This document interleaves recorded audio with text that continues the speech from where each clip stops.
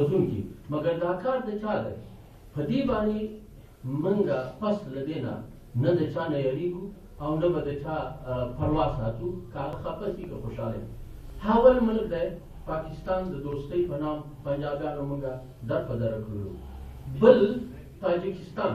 چې هغه هم د وروسته زیر اثر لاندې ملک د وروسته لپاره بربادولو دویم د خپل شخصي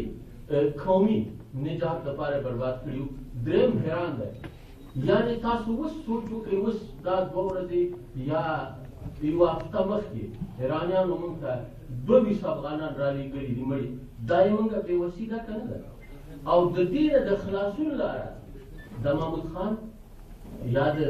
د اسفندیار خان یا یې موږ هر یو مشر چې کرزی په افغانستان کې راغلی موږ ته مکمل د دغو خلکو سپورټ پکار دی او دغه خلک چې تر څو پورې موږ یو اتحاد نه شو موږ د دې بدبختۍ نه نه خلاصېږو خبرې ډېرې دي وروره وخت کم دی مختصر څو خبرې دي موږ ته د خدای په یاد خپل دغه اواز تمامو پښتنو ته وراړول غواړم یو اتفاق په کار دی چې هلمند کې هلمند کې پښتون مړ کېږي په کونړ کې مړ کېږي او په په باجوړ کې مړ کېږي او په پټه کې مړ کېږي په بلوچستان کې دا موږ یو یو دا بېلتون په دیوالونو لیکل موږ ته د شرم د عیب خبره ده ولې موږ پښتانه یو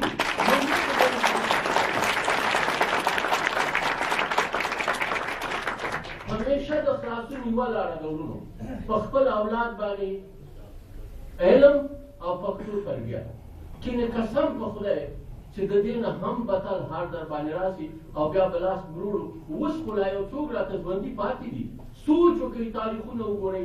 خلک وایي وایي د تاریخ خبرې مه کوئ د تاریخ خبرې چې نه کوو دغه مهال دی نن نن چې موږ بیا کومې غلطیانې هغه کوو چې په تاریخ کې خلکو کړي هغه به سبیا بیا یې موږ د بچیانو لپاره نور ازادو د دې نه د خلاصون یوه لاره ده چې موږ او تاسې ټول اتحاد سي او خپل دښمن وپېژنئ نور ویره د چا نه مه کوئ زه دنیا د دغه سټیج نه نن درته چیلنج کوم نن محمود خان اواز ولې دنیا نه اوري د پرویز مشرف اورېدل کېږي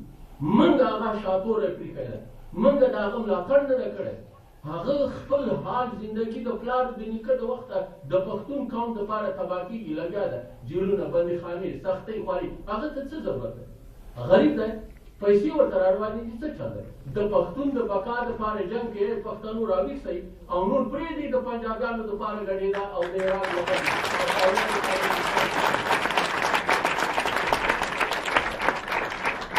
وخت نشته ده ډیره ډیره مننه د تاسو ټول وروڼو نه دا دا ته چې راغلي د دې دا معنا نه ده چې موږ دلته ناست یو دا معمولي خبر ده نن په زړه کې عهد وکړئ وعده وکړئ که پنځه کاله بعد د پښتون د کور نه اور لرې نه سو ما په بل نامه یاد کړئ نور ذاتي وخت هم نه نیسم ډېره مننه د ټولو وروڼو نه